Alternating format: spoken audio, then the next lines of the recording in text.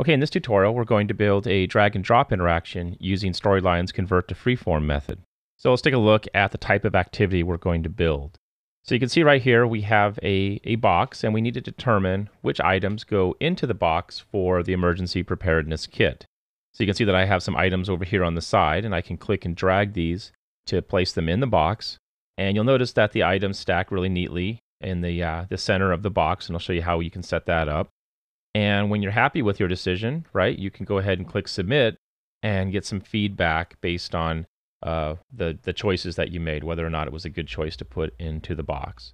So let's go ahead and see how to build this activity.